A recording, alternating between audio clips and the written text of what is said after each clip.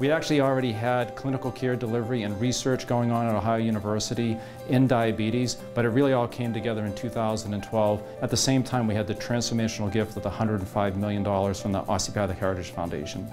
The growth of the research infrastructure, honestly, the Vision 2020 grant was really critical. So that provided a number of pieces of equipment that were very important for conducting diabetes research.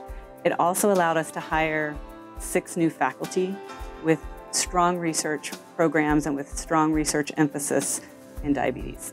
The Diabetes Institute has had a major impact here in Southeast Ohio. And by being here and studying what's actually going on in the community, we understand it better and we're better prepared to care for it. We know that when people come together with multiple different disciplines, collaboratively looking to solve problems, we solve problems better together than we do separately. If you're at risk for diabetes, uh, if you have a diagnosis of prediabetes, you can choose to do the diabetes self-management education classes, or we have another program called the Diabetes Prevention Program, and that is a year-long lifestyle change program that aims at reducing the risk for diabetes by helping people learn how to eat healthy, uh, be more active, and lose about 7% of their body weight. Diabetes is rampant here in southeast Ohio and actually through all of Appalachia, and we're really at the epicenter of where diabetes is. When you're talking about a rural region like this, some of the barriers that people here face are education, access to education, access to transportation, access to healthcare. So we have a big shortage of healthcare providers and specialists, particularly diabetes specialists in this region. I think over the last six years, we've really formed a great foundation for the Diabetes Institute. And what I see coming in the future is growth off of that strong foundation.